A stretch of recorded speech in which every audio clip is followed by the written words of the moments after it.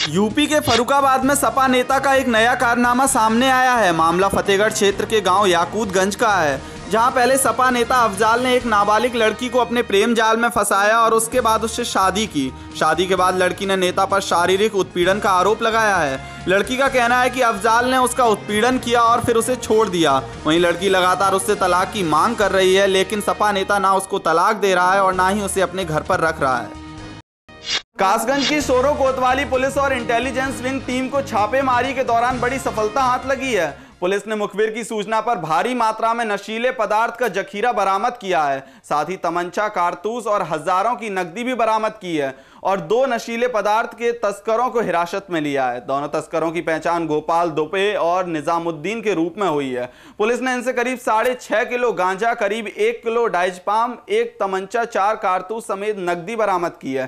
फ़िलहाल पुलिस ने तस्करों को जेल भेज दिया है।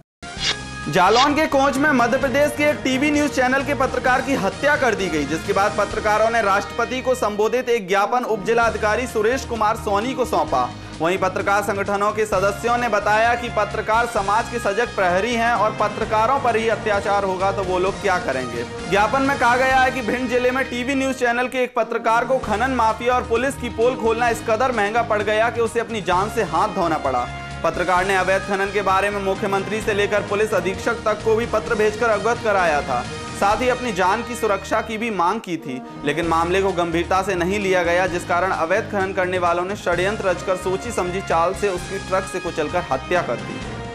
औरैया के अछल्ला थाना क्षेत्र के नगरिया बम्बा के पास साइकिल से अपनी पत्नी के साथ घर लौट रहे युवक की अज्ञात बदमाशों ने गोली मारकर हत्या कर दी।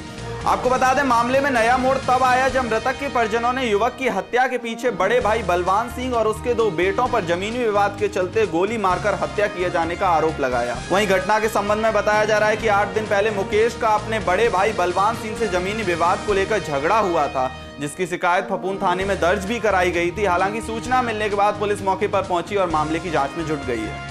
फरुखाबाद में प्रेम प्रसंग के चलते एक प्रेमी जोड़े ने अलग अलग जगह फांसी लगाकर आत्महत्या कर ली। जहाँ युवक ने आम के पेड़ से लटककर फांसी लगा ली तो वहीं गाँव की एक युवती ने भी फांसी लगाकर आत्महत्या कर ली। घटना के तीन घंटे बाद पहुँची पुलिस ने शव का पंचनामा भरकर पोस्टमार्टम के लिए भेज दिया। बताया जा रहा है कि काफ़ी दिनों से दोनों के बीच प्रेम प्रसंग का मामला चल रहा था।